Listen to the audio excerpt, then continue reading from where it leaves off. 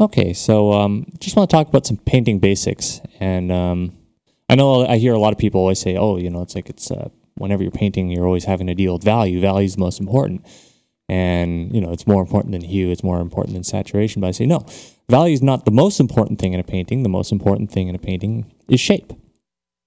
So, take for instance, um, you know, I'll, I'll tell you why. Is because value, no matter what value you choose, it still has to go in the right place um, you know, every time I, I, I find that whenever I start a painting, um, my, most of my most of my time is actually spent. You know, in, in the past, uh, I would paint things worrying all about value, but then I found that most of my time was actually spent um, fixing up problems of shape. You know, every time you see a drawing, everyone's always like, "Oh, you know, the arms off, the, the legs off. You know, this is doesn't look right. That's distorted. That's a problem of shape. It's a problem of, of just incorrect perspective on something or incorrect proportions, bad forms.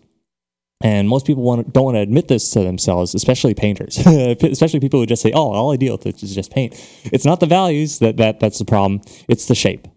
And so, this is where drawing comes in. You know, you can't paint without drawing. You have to draw. And by drawing, what's you know what's drawing? Drawing is about creating an optical illusion. So, so take this this thing right here. You know this this this picture, for example, that I've just drawn. I've gone, I've taken my um, my camera, and I've basically right now this camera's mounted right between my eyes. Um, I got it on an arm, and um, on a flexible arm, and then this thing, this camera is basically pointing. So you're pretty much seeing exactly my own point of view, and you'll see that what I'm doing is I'm creating a room space. You know, I'm just creating this little space of a room. And people will say, it's like, I don't know perspective, or how do you learn perspective, or teach me about perspective. And, you know, uh, they, they're always trying to treat perspective as this thing that's like knowledge. But that's not true at all. Perspective is not knowledge. You don't, no one knows perspective. Nobody knows perspective. That's you can't know perspective. You sense perspective. You see perspective. You use perspective. Um, anybody who you know walks around, you know, walking down the street, not getting hit by a car, not banging into walls and stuff, they have their own natural sense of perspective. They can sense what's going on around them. And so the problem that many people have when they're drawing is when they see a flat canvas like this, they see it as a flat canvas. The, the problem is that they they perceive it as a flat canvas. They lose their sense of perception uh, they lose their sense of perspective. So what you have to do is the reason I've, I've taken this camera rather than you know say showing you this um, this view here. Okay, this is like this is just a regular flat view, you know, from from the screen capture.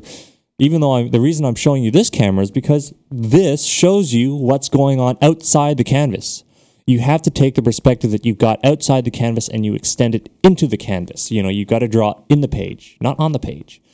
So this is the most important part to uh, to, to perspective, you know, to, to painting is that you are, you know, drawing within the canvas. So when I start adding things like scribbles and, and, and whatnot, I start, you know, scribbling on the canvas, you know, you'll see me adding little points and stuff. It's like, I want something way off in the distance over here. You know, wherever I'm drawing on the canvas, I can sense, you know, I can kind of tell, well, if I draw down here, it's really close to me you know, I can I can say if I start putting like little, you know, I can put like a little person off there in the distance, you know, and, and maybe I'll move them down a little bit because I don't want them standing right on the horizon line, you know. So I've got a person who's standing far away.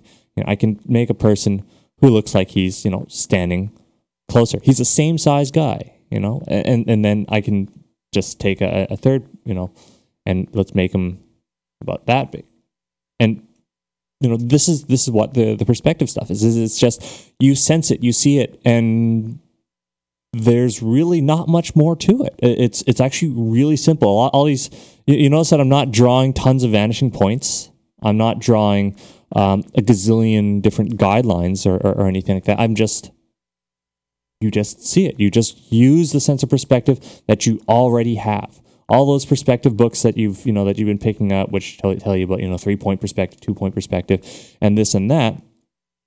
All the, the whole concept of three point perspective, two point perspective, et cetera, et cetera, goes out the window when you start having uh, landscape pictures that have landforms that aren't boxes, you know, and, and don't conform to a to 90 degree angles and conform to grids and, and you know any of that kind of stuff. So you know you just don't even worry about about you know perspective. You just see it. Just take whatever you have out here and extend it into there.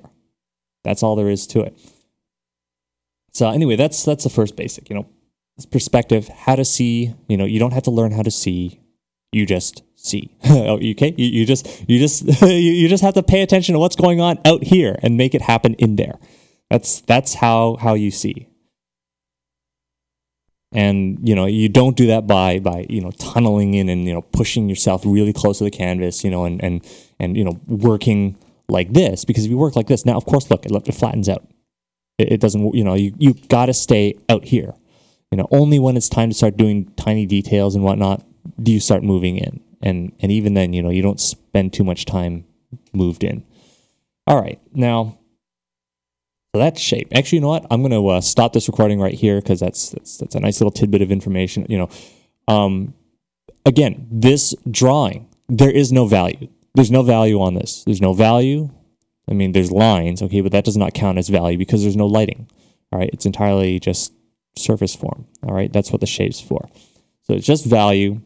It, there's no saturation. There's no hue right? It's there's no value. There's none of those three things that, that we care about so much in painting. All there is is just you know volume and shape. And if I if I want, you know, I can say, let's let's go to the next step. And the next step is turning these outlines into well, you know, actual silhouettes and, and volume. So I can, you know, I can start just you know blocking, you know, filling them in really I'm just going to fill that in. Okay, and, and all I'm going to do is I'm going to put in some, you know, slightly different values. Know, I'm going to go from light off in the distance to dark in the foreground. You know, sometimes it might be the other way around. It might be, you know, top down. In this case, I'm taking, I'm using depth to, you know, the distance between, or rather the depth in the picture to adjust this. So, you know, the closer something is, you know, the more dark I will make it. This is just, it's like simple atmospheric perspective. I can take, you know, this, this color out here, and maybe I'll, I'll spill that in there. Just shade him, you know, just like a, a tiny bit. And, you know, that is, you know, the first step is, is it's just getting this simple block diagram. Now, I guess, um, yeah, let's, let's, let's stop the recording here and, and you know, we'll we'll get into the details next. You know, I'll, I'll show you, you know, how to actually work this paintbrush, how to, you know, various techniques that you're going to need to to use. You're going to have to learn how to use your brush properly. Believe it or not, there's there's actually a, a proper way to operate a brush. Anyway, um, that's for later.